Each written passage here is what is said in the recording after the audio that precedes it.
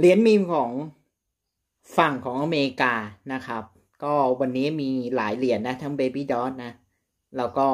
น่าจะมีสถานการณ์เกี่ยวกับ macroeconomic ด้วยนะครับ ในข้อมูลประกอบในการตัดสินใจนะ เดี๋ยวเราไปรับชมในตัวคลิปนี้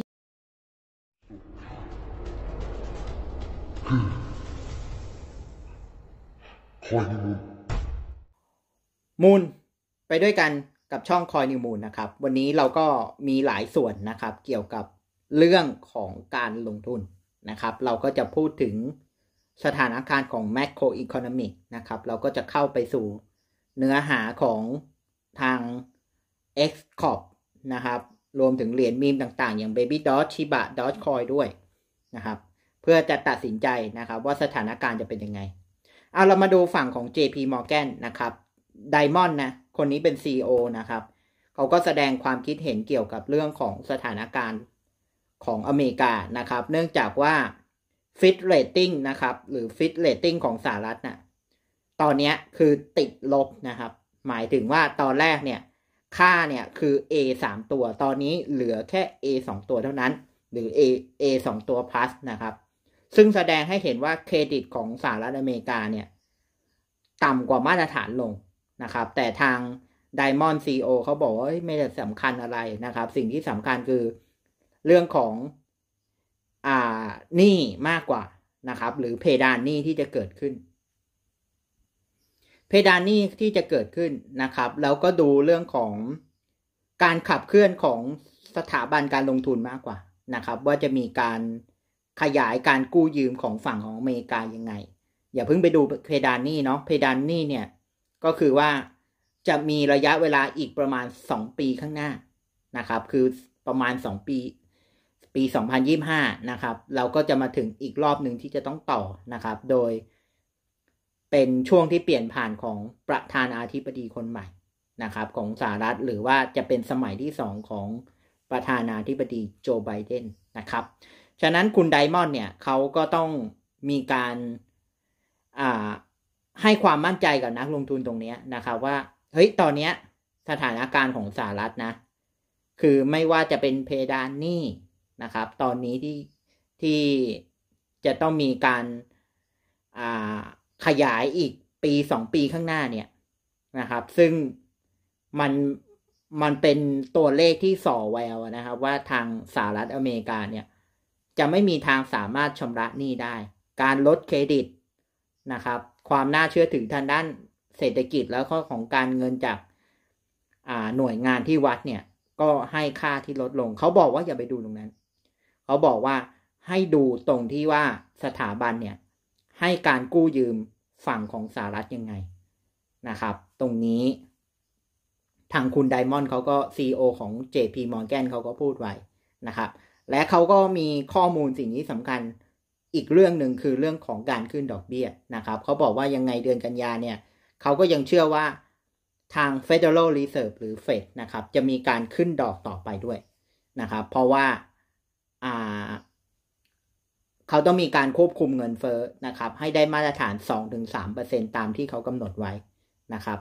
แล้วเดือนอื่นๆ จะเป็นยังไงเดี๋ยวก็ว่ากันนะครับ แต่ส่วนตัวผมเนี่ย น่าจะขึ้นไปเรื่อยๆ นะครับ แล้วแต่การวิเคราะห์แหละแต่ว่าคุณไดมอนด์เขาบอกว่า ยังไงเดือนกันยาก็ต้องขึ้นนะครับ มันช่วยไม่ได้นะ เพื่อรักษามาตรฐานยังไงก็ก็ต้องเป็นอย่างนั้นนะครับ ก็ต้องดูกันต่อไปนะครับว่าว่าว่าจะทำได้จริงหรือเปล่านะครับ ตามที่แผนนะครับ ได้กำหนดนโยบายไว้ เพราะมันจะมีเรื่องของค่า CPI ที่ต้องต้องมาวัด non farm payroll นะครับ ที่ต้องมาวัดว่า แต่ละเดือนเนี่ยจะมีการขึ้นอีกหรือเปล่านะครับ แต่ส่วนตัวผมไม่ขึ้นไม่ได้นะครับล่วงแน่นะครับ คือค่าเงินดอลลาร์นะครับฉะนั้นเขาต้องทำค่าเงินดอลลาร์ให้แข็งตลอด ฉะนั้นยังไงก็ต้องมีการขึ้นตลอดแน่นอนจนกว่า จะหัวล้างข้างแตกไปข้างหนึ่งข่าวที่สองนะครับ ก็จะเป็น เกี่ยวกับแมกโกรอีโคโนมีอันนี้จะเป็นฝั่งของพรรครีพับติกันหรือทางโจไบเดนนะครับ ตอนนี้แกกำลังเร่งเรื่องของกฎหมายที่จะควบคุมสำหรับคริปโตเคอเรนซีนะครับ โดยเฉพาะเรื่องของภาษี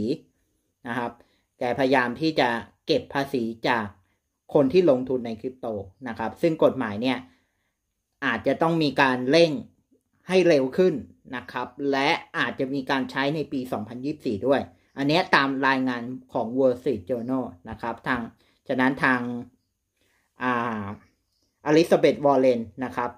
อ่าดิเมสันซูเซตนะครับวุฒิสภาเนี่ย แล้ววุฒิสภาอีก 3 คน ก็กำลังเร่งกระบวนการนี้ให้กฎหมายมันผ่านอยู่ฉะนั้น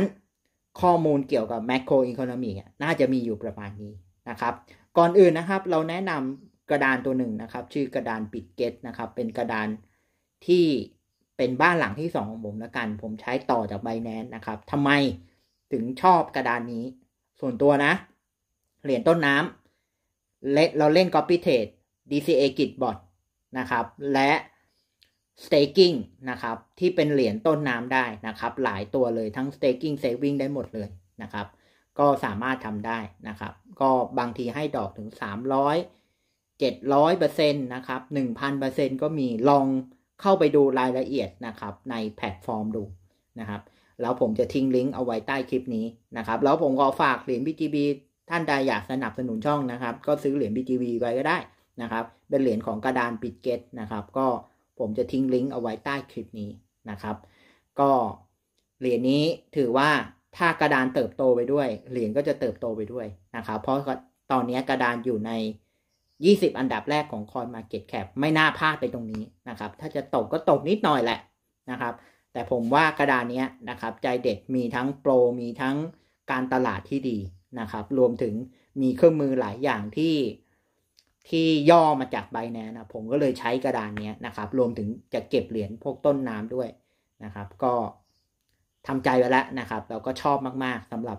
เหรียญนี้โดยเฉพาะเลยนะครับ ก็ต้องมานั่งติดตามด้วยกันนะครับว่า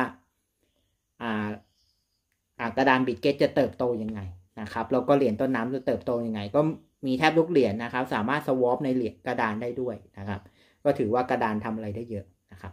อะเราไปรับชมในเหรียญก่อนเข้าเหรียญหลักด้วยกัน โอเคครับ เราก็มาเข้าข่าวของเหรียญ X กัน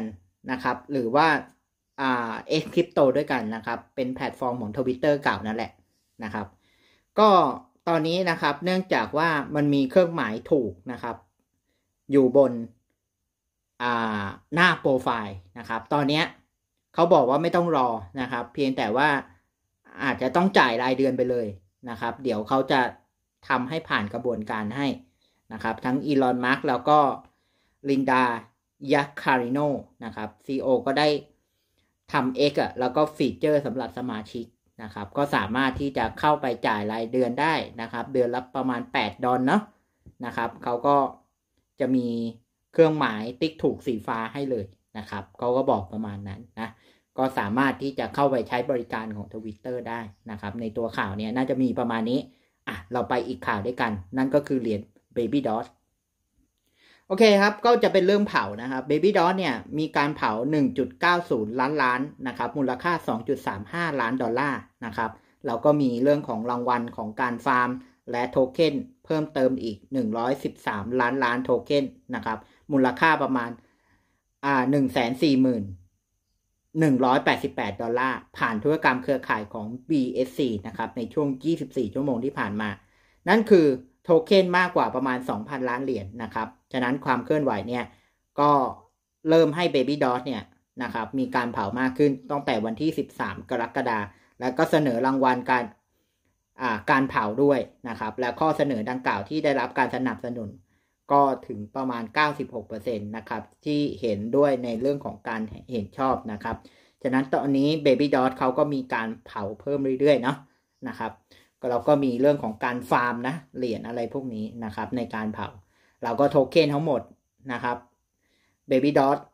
เต็มสตรีมก็คือ 4 2 0 0 0 0 ล้านล้านนะครับ โดยประมาณนะครับ แล้วก็จำจำนวนอะที่ถูกลบออกนะครับ ของ Baby Dot เนี่ยก็ประมาณสองแสนส แปดพันล้านล้านนะครับ ถูกลบออกจากอุปทานหมุนเวียนนะครับ และตอนนี้นะครับก็มีอุปทานเหลือประมาณหนึ่งแสนห้าหมื่นหกพันล้านล้านนะครับ ก็ถือว่าลบมาได้เยอะละรอให้สักหมื่นล้านล้านนะครับ ผมก็คิดว่าน่าจะถึงอยู่แหละนะครับ ก็เห็นแล้วนะครับว่า Baby Dot เนี่ยมีการเผาเพิ่มก็ เขายังชั่วหน่อยเนาะเพราะว่า Baby Dot เนี่ยบอกว่ามีการเผาถึงหนึ่งแสนห้าหมื่นหกพันล้านล้านนะครับ ก็ตอนประมาณเดือนสองเดือนที่แล้วก็ยังอยู่สองล้านสองแสนล้านล้านอยู่เลยนะครับอ่าอยู่เอ่อสองแสนล้านล้านนะครับไปต้นต้นนะครับปลายปลายอะนะครับ ก็จะเข้ากับแสนล้านล้านแล้วนะครับ ก็รอให้อ่าอุปทานนะมันสักเหลือสักหมื่นล้านล้านก็น่าจะราคาน่าจะมีการขยับสักหน่อยเนาะ เดี๋ยวเราไปดูเหรียญต่อไปนะครับ อันนี้เป็นเหรียญโบนนะครับ เพิ่มขึ้น 13%นะครับ ใน 24 ชั่วโมงมาก มีการเพิ่มขึ้นถึง 13%นะครับ ราคาตอนนี้อยู่ที่ 1.7209 ลดลงเล็กน้อยนะครับ แล้วก็ยังเพิ่มโดยเฉลี่ยคือ 11%นะครับ โบนก็เหมือนกับตอนนี้เขากล่าวตามชิบะเรียม แล้วการประชุมของ ETS โตรอนโตนะครับ ที่แคนาดานะครับ ที่จะมีการ เผยเรื่องของ wallpaper นะครับ ที่จะทำให้โบนเนี่ยถูกเผามากขึ้นเนาะตามตามทฤษฎีแล้วตามคอนเซปต์ของ Shibarium แล้วก็ต่อมานะครับโบนเนี่ยก็จะมีเรื่องของของการเข้ากระดาน Binance ด้วยนะครับ ที่เป็นข่าวเร็วๆนี้ว่า ถ้าเกิดประมาณวันที่สิบห้าสิบหกสิงหานะครับ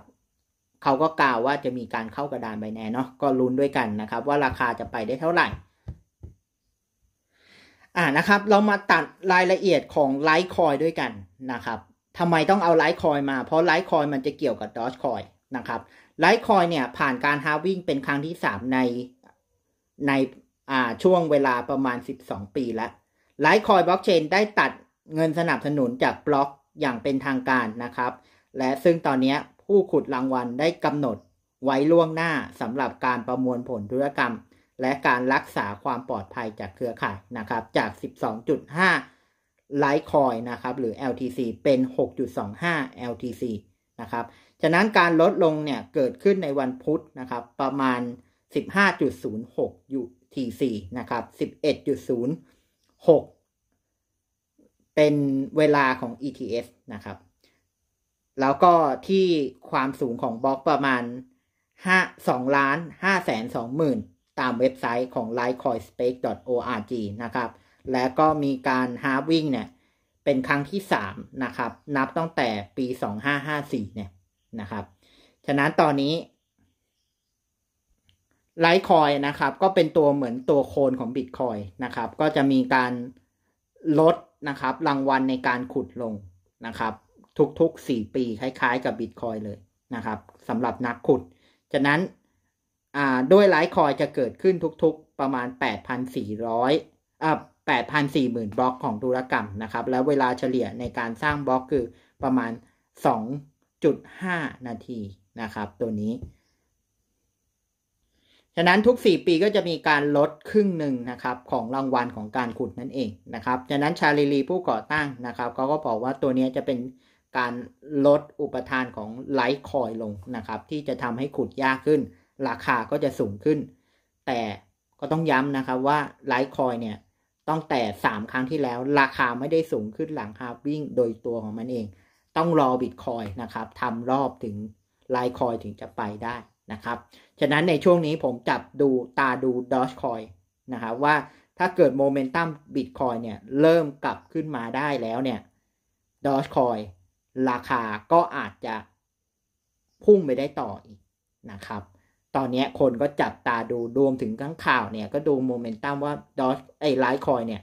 น่าจะไปถึงร้อยดอลหรือร้อยสิบดอลได้นะครับ แล้วเขาก็จะมีการอ่าทำเรื่องของไลท์คอยขึ้นมาเองนะครับทำเรื่องของดอทคอยอะให้มันมีราคาขึ้นมา เพื่อนักขุดอะเขาจะได้ขุดมากขึ้นนะครับ ก็เตรียมแล้วนะครับ เพราะว่าไลท์คอยมันขุดยากมากขึ้นนะครับ แล้วมันขุดยากอยู่แล้วนะครับ เรายิ่งจำนวนน้อยเนี่ย ราคามันไม่มากเท่าไหร่เนี่ยทำให้มันไม่เป็นแรงจูงใจของนักขุด เขาก็เลย ผมคาดว่าทาง Charlie Lee กับ Elon Musk น่าจะตกลงกันคือพยายามที่จะให้ Dogecoin เนี่ย ขึ้นไปในราคาที่นักขุดเนี่ย พอใจนะครับ เพื่อจะทำให้คนขุดในเครือข่ายของ Litecoin เพิ่ม และ Litecoin ยังได้รับความนิยมอยู่ ส่วนตัวทฤษฎีผมผมคิดอย่างนี้นะครับ โอเคครับ เราก็มาเข้าเหรียญสุดท้ายนะครับ นั่นก็คือ Worldcoin นะครับ ก็ถือว่าเป็นเหรียญที่มีกระแสมากนะครับ แล้วก็เติบโตในช่วงของการประชุมของ FOMC นะครับของ Federal Reserve นะครับ ฉะนั้น Worldcoin เนี่ยก็ตอนนี้มีหยุดบริการชั่วคราวในเคนยานะครับ เพราะการตลาดหลักของเขาส่วนใหญ่อยู่ในเคนยานะครับ แล้วก็โมเดลหรือธุรกิจของเขานะครับ เป็นเรื่องของ คล้ายๆกับ DeFi หรือ DApp นะครับ เราก็มีความปลอดภัยสูงโดยการสแกนม่านตาเนาะนะครับ ระบุตัวตนนะครับ โดยร่วมสร้างโดย Sam Altman นะครับ ได้หยุดให้บริการชั่วคราวนั่นเอง ฉะนั้นโดยโฆษกของมูลนิธิของ Worldcoin เขาก็กล่าวนะครับว่า เดี๋ยวความต้องการการบริการการตรวจสอบในเคนยานั้นนะครับ ล้มเหลวอ่าโทษนะครับ ล้นหลามนะครับ โดยมีบุคคลหลายหมื่นคน เข้าแถวรอเพื่อรับ World ID นะครับใน 2 วันนะครับเขาก็บอกถึงว่ามีเรื่องของความระมัดระวังอะไรอย่างนี้นะครับ ผมขอเจาะรายละเอียดประมาณนี้แหละนะครับ ไม่น่าจะมีอะไรสำคัญละ Worldcoin ก็น่าจะช่วงนี้น่าจะพักตัวมานานพอสมควรแล้วนะครับ ตั้งแต่ตั้งแต่มันเริ่มเข้ากระดาน Binance อะไรไปนะครับ มันก็มันก็อย่างนี้แหละนะครับ มันก็ต้องแถวลงนะครับ เป็นธรรมดาเดี๋ยว ลดสัก 90%เดี๋ยวเราค่อยเข้าไปเก็บเพิ่มเนาะเวอร์คอยตอนนี้นะครับทุกคนก็กำลังดูเรื่องของดอชคอยอยู่นะครับ ว่าจะผ่านแนวต้านระยะยาวได้ไหมที่ 0.1 ดอลลาร์นะนะครับ ฉะนั้นเขาต้องผ่านการทดสอบตรงนี้ให้ได้นะครับ ตอนนี้เราก็เห็นแล้วว่าดอทคอยเนี่ยในช่วงปีนี้ก็ทำราคาต่ำที่สุดคือ 0.49 ดอลลาร์ 0.049 ดอลลาร์นะครับ แล้วก็ตอนนี้อยู่ที่ประมาณ 0.739 นะครับ 0.739 นี่เป็นสถิติที่สูงสุดนะครับ แต่ตอนนี้อยู่ประมาณ 0.075 นะครับ หรือ 76 นะครับ โดยประมาณนะ ฉะนั้นดอ g คอยเนี่ยจะต้องฝ่าแนวต้านไปให้ได้นะครับ เราเขาก็มีการทำนายดอ g คอยในปี ปีหลังๆนะครับ เราก็ halving ด้วยนะครับ ก็ต้องดูว่านักขุดเขาจะ เป็นตัวผลักดันตัวราคาของดอ g คอยหรือไม่นะครับ รวมถึง Elon Musk นะครับ ฉะนั้นกราฟ Doge ต่อ USD นะครับ ใน Trading View ในเรื่องของค่า RSI รายสัปดาห์เนี่ย ก็ไม่ได้ให้ข้อสรุปชัดเจนนะครับ RSI เป็นตัวชี้ momentum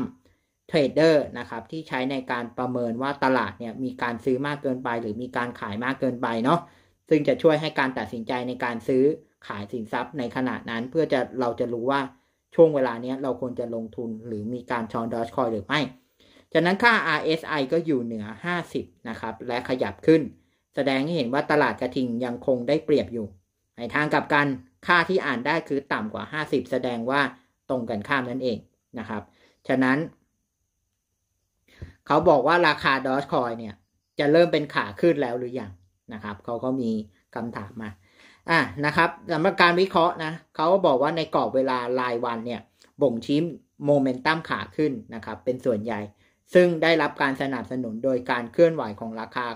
โดยการกอ่านค่า RSI ดูตลาดอีกทีนะครับ แต่ผมเชื่อว่าบิตคอยเนี่ยจะลงไปอีก และดอชคอยเนี่ยกราฟวันเนี่ยจะต้องตกกลับลงมา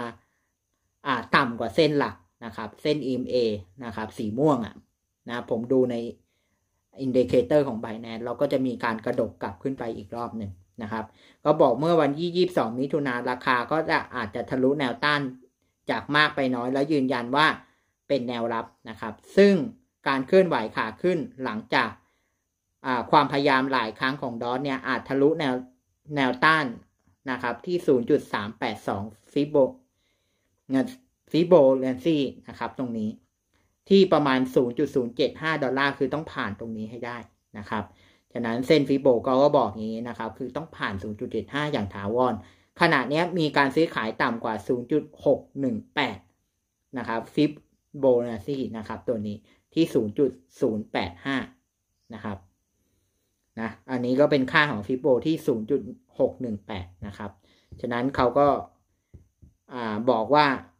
ดอ g คอยเนี่ยนะครับ ก็มีการยืนยันนะว่าอาจจะมีการทะลุกรอบนะครับ ในเรื่องของระยะยาวเนี่ยที่ 0.15 เป็นระยะยาวในถัดไปนะครับ ก็อาจจะใช้เวลาหลายเดือนเลยนะครับ ฉะนั้น RSI รายวันอะ50 นะครับ และเพิ่มขึ้นมีการสนับสนุนเคลื่อนไหวในการขึ้นต่อนั่นเอง ฉะนั้นดอตอนนี้นะครับ แนวรับระยะยาวเนี่ย ต้องห้ามต่ำกว่า 60 ดอลลาร์นะครับ ต้องไปต่อให้ได้ ถ้าไปต่อไม่ได้ก็ ก็ถือว่าเอ็นเกมนะครับ คือจบเกมเลยนะครับ ฉะนั้นดอทคอยจะต้องรักษามาตรฐานของราคาให้ได้นะครับ ก็ไม่รู้ว่าจะได้หรือเปล่านะ ก็ต้องดูราคาบิตคอยนะครับว่าบิตคอยเนี่ย จะเป็นยังไงนะครับ จะล่วงลงแรงขนาดไหน ต่อมาข่าวของดอทนะครับ ก็มีคนหนึ่งชื่อ มิชาบอร์นะครับ รู้จักกันในชื่อนี้ในการพัฒนาเมื่อเร็วๆนี้นะครับ ฉะนั้นผู้พัฒนาได้ออกคำเตือนเกี่ยวกับชุมชนด้วยนะครับว่าดอทคอยเนี่ยเนื่องจากมีนักขุดขุดดอทคอยช่วงนี้เพิ่ม เนื่องจากกระแสของไลท์คอยนะครับทำให้เครือข่ายของดอทคอยอาจมีอุปทานเพิ่มด้วย ในช่วงเวลานี้ รวมถึง เขามีการย้ำเตือนเรื่องของการสแกมนะครับ เนื่องจากหลายช่องทางเนี่ยพยายามที่จะเพิ่มเหรียญดอ g คอยนะครับ ก็น่าจะเป็นพวกดอ g คอย2.0 อะไรพวกนี้มิชาบานะครับ ก็มีการโพสต์ในวันที่ 2 สิงหาคมปี 2023 นะครับ ก็เขาเตือนนะครับว่าถ้าเกิดจะซื้อก็ต้องระวังให้ดีนะครับ ส่วนตัวผมคืออย่าใช้เงินเยอะนะครับ อะไรที่เป็นเหรียญโคนของดอ g คอยนะครับ หรือว่าล้อเหรียญดอ g คอยเนี่ย ก็ต้องระวังให้ดีนะครับ เนื่องจากว่ามีผู้ซื้อเนี่ยเข้ามาซื้อเพิ่มนะครับ แล้วก็มีเหรียญเข้ามาในตลาดเยอะด้วยนะครับ โดยเฉพาะแค่ดอทคอยสองดอทคอยสองจุดศูนย์เนี่ยผมมีเป็นสามสี่เหรียญแล้วนะครับ ก็ต้องระวังให้ดีว่าคุณจะซื้อซื้อเหรียญไหนนะครับ แล้วจัดการ โอเคครับ เรามารับชมข่าวของชีบะด้วยกันนะครับ เนื่องจากข่าวแรกมาก่อนเลยผู้ใช้ 5.5 ล้านคนนะครับ ใช้จ่ายชีบะอินุ ในร้านค้าปลีกนะครับ ที่รับการชำระชิบะอินุมากกว่า 81 ล้านรายนะครับ ทั่วโลกเลย แล้วก็อย่าลืมนะครับ ในเดือนนี้เดือนสิงหาคมชิบะอินุนะครับ จะครบรอบตั้งแต่ปี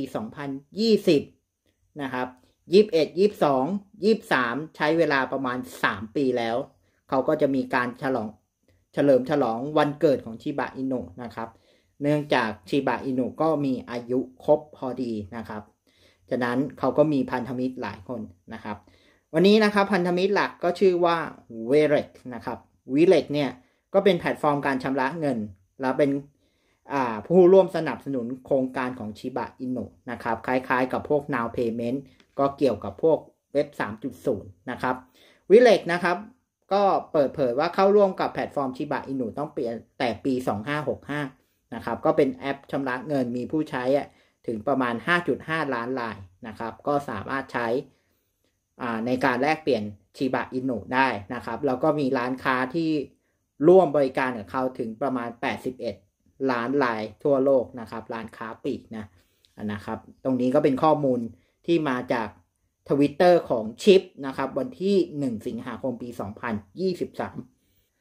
ต่อมานะครับก็เป็นข่าวเรื่องของวานนะครับชิบะอินโนน่ะข้อมูลใน Into the Box ภายใน 24 ชั่วโมงก็พบว่าชิปเนี่ยหลายพันล้านตัวนะครับถูกเคลื่อนย้ายโดยวานผู้ถือครองรายใหญ่นะครับก็มีการบันทึกธุรกรรมจำนวนมากนะครับประมาณ 1.13 ล้านล้านชิปนะครับอันนี้ก็เป็นข้อมูลนะนะครับว่าวานมีการเคลื่อนไหวนะครับ ช่วงนี้ก็ใกล้ถึงเวลาแล้วนะครับ แล้วก็โบนมีการกระตุกนะครับขึ้นไปถึง 1.7 นะครับใครใครที่ขายไปนะครับ ซื้อตอน 0.6 0.7 เนี่ยก็เสียดายเนาะโบนก็สามารถที่จะเติบโตได้เรื่อยๆนะครับ ก็ต้องดูด้วยกันว่า ถ้าเกิดเปิดชิบะเรียมมา โบนจะไปราคาได้ที่เท่าไหร่นะครับ เอามาดูด้วยกันอัตราการเผาไหม้นะครับ อันนี้น่าจะมาจากเว็บไซต์พวกทวิตเตอร์ของ Shib Burn อะไรอย่างเงี้ยนะครับ หรือว่า Shib ในวันที่ 1 สิงหาคมปี 2023 นะครับ ก็ระบุนะครับว่าชิบะเนี่ย มีธุรกรรมการ burn นะครับ ก็ภายใน 24 ชั่วโมง มีอัตราเพิ่มขึ้นเกือบ 190%นะครับ มีการเผาชิบะอินุทั้งหมดประมาณ 56 ล้านชิบะนะครับ เพิ่มขึ้น 186.75%ก็ถือว่าช่วงนี้ยังไม่ได้เยอะเท่ากับประมาณเดือน 2 เดือนที่แล้วเนาะที่มีการเผาน่าจะเรื่องของอ่านักเทรดหายไปนะครับ ไม่มีแรงซื้อก็เลยทำให้ชิบะอินุเนี่ย ไม่มีคน ซื้อตอนนี้นะครับ ก็ต้องดูกันต่อไปนะ ว่าชิบะอินุจะเป็นยังไง โอเคครับ ข้อมูลของชิบะกับดอชคอยน่าจะมีอยู่ประมาณนี้แหละนะครับ วันนี้ก็จะหนักหนักเรื่องของ macro economic นะครับ เราก็พอสรุปได้แล้วนะครับ ว่าชิบะช่วงนี้น่าจะไปต่อดูวันที่สิบห้าสิบหกให้ดีนะครับ ถ้ามีการประชุมแล้วมีการเปิดชิบะเรียมจริง ๆ ตัวที่จะไปคือเหรียญโบนนะครับ จับตาดู นะครับ แต่ผมรอว่าบิตคอยเนี่ย อาจจะย่อ ย่อได้เท่าไหร่นะครับ แล้วผมจะเข้าไปช้อนเหรียญโบนอีกรอบหนึ่งนะข้อมูลโดยทั่วไปก็ประมาณนี้แหละนะครับ ก็ขอบคุณทุกท่านที่ได้รับชมในคอนเทนต์นี้ด้วยกัน แล้วก็ฝากกดไลค์กดแชร์กด subscribe และกดกระดิ่งกดปุ่มติดตามนะครับ แล้วเราก็มีช่องทางที่สำคัญนะครับ นั่นก็คือไลน์กลุ่ม Mission New Moon VIP นะครับ แล้วก็กลุ่มของชิป นะครับ Mission New Moon VIP สามารถไปคุยได้ทุกอย่างนะครับ ทั้งคอนเทนต์ฝัดคอนเทนต์ทางลบทางบวกอะไรพวกนี้นะครับ แต่ขอสงวน ไอไอเหรียญนนะครับ เฉพาะกลุ่มเอาไว้สายกล่าวนะ แต่ว่าอ่าถ้าเกิดช่องทางของผมคุยได้ทุกเรื่องนะครับ ข่าวสารอะไรอย่างเงี้ยนะครับ เพราะว่าช่องทางที่เป็นของแฟนคลับจริง ๆ ต้องขอการุณานะครับ อย่าอย่าคุยแง่ลบตรงนั้นนะครับ เพราะว่าเขาติดตามเรื่องเหรียญอยู่ก็ต้องต้องเข้าใจแหละนะครับ ก็เรามีกลุ่มให้คุยนะครับ ก็ไปกลุ่มให้ถูกนะครับ แล้วคุยให้ถูกนะเพราะว่ากลุ่มอ่ามีแค่นิวมูลพีผมไม่ได้เอาอะไรมากนะครับ จะคุยได้ทุกเรื่องผมไม่ได้ขัดคอนะแต่ถ้าเกิดไปคุยเรื่องเหรียญเหรียญโปรดในในกลุ่มของเหรียญนั้น ขอร้องนะครับ ว่าอย่า ไปพูดแง่ร้ายอะไรมากนะครับก็ค่อยๆพิจารณาด้วยกันนะนะครับโอเค ข้อมูลอะโดยทั่วไปก็ประมาณนี้นะครับเนาะก็อยากให้ทุกท่านนะครับ ก็มีสุขภาพร่างกายแข็งแรงนะครับ สมบูรณ์ด้วยนะครับ ก็ผมก็ทำคลิปมาทุกวันแล้วนะครับ ก็คิดว่าอ่าก็ช่วงนี้นะครับ ก็คิดว่าน่าจะเพิ่มช่องที่สองเนาะช่องที่สามนะครับ ก็กลับมาทำใหม่นะครับ เนื่องจากว่าในช่วงหนึ่งไม่มีข่าวจริง ๆนะครับ เกี่ยวกับเหรียญมีมเหรียญต้นน้ำอะไรอย่างเงี้ยนะครับแล้วช่วงนี้เริ่มมีข่าวแล้วก็ไปอัปเดตรายวันได้นะครับ เพราะว่าช่องอ่า Moon Academy เนี่ยก็น่าจะเป็นพวกเหรียญต้นน้ำเนี่ยแหละนะครับ ไปติดตามข่าวรายวันได้นะครับ สั้นๆ 3 นาที 5 นาทีนะครับ ในช่องนั้นนะครับ แบบเบาสมอง แล้วช่องนี้ก็จะเป็นช่องหลักๆแหละนะครับ ที่จะอัดเนื้อหาอะไรพวกเนี้ย นะครับ หลายคนก็บอกโอ้ไม่ไหวนะครับ ฟังเป็นครึ่งชั่วโมงเลยอะไรอย่างเงี้ยนะครับ ก็เราเอาหลายข่าวเราก็มาประมวลผลนะครับ ว่าตอนนี้สถานการณ์เป็นยังไงเนาะก็ระวังให้ดีแล้วกันนะครับ เพราะว่าผมว่าอ่ามันจะมีเรื่องของอัตราดอกเบี้ยอยู่นะครับ หลายคนก็พยายามกล่าวเรื่องของเรื่องของไอ้นั่นนะครับ เรื่องของ Bitcoin ETF เนี่ยนะครับแล้วก็เรื่องของ Bridge ต้องก็ต้องดูกันด้วยกันนะครับว่ามันจะมีผลมากน้อยกับตลาดขนาดไหน เพราะว่าผมเชื่อว่าดูจากที่อเมริกาพยายามพูดนะครับ คือเขาพยายามที่จะคุมบิตคอยให้อยู่ราคาหนึ่งนะครับ คือถ้าที่ผมคิดอะคือพยายามที่จะไม่ให้เกินประมาณห้าหมื่นละกันนะครับ จะอยู่ที่ประมาณสามหมื่นสี่หมื่นเนี่ยแหละนะครับคงไม่ไปสูงกว่านี้ ยกเว้น จะมีสถานการณ์อะไรแบบเซอร์ไพรส์จริง ๆ นะครับ เรื่องของ macroeconomic เนี่ยว่ากันนะโอเคนะครับ ก็ฝากกระดาน Bitget ไว้ด้วย ผมก็จะทิ้งทั้งกลุ่มแล้วกระดาน Bitget ไว้ใต้คลิปนี้ ศึกษาข้อมูลก่อนการลงทุนนะครับ การลงทุนมีความเสี่ยง ถ้าเกิดข้อมูลอะไรผิดพลาดไปก็ขอประทานอภัยด้วยนะครับ แล้วก็ขอบคุณทุกท่านที่ได้รับชมได้รับฟังกันมาตลอดนะครับ เดี๋ยวผมในปีอ่า คริสต์มาสนะครับผมก็น่าจะมีอะไรฝากสำหรับสมาชิกหลายท่านนะครับ ก็ก็เข้ามาคุยกันที่ Mission New Moon VIP ก็ได้นะครับ ผมอาจจะมีของอะไรแจกนะครับ สักนิดสักหน่อยเนาะนะครับ โอเค สำหรับวันนี้นะครับผมก็หวังว่าชิบะอินุนะครับดอชคอยจะ go to the moon ไปด้วยกัน และพอร์ตการลงทุนของท่านจะ moon ไปด้วยกันกับช่องคอยในมูลสำหรับวันนี้ขอตัวลาไปก่อนครับ สวัสดีครับ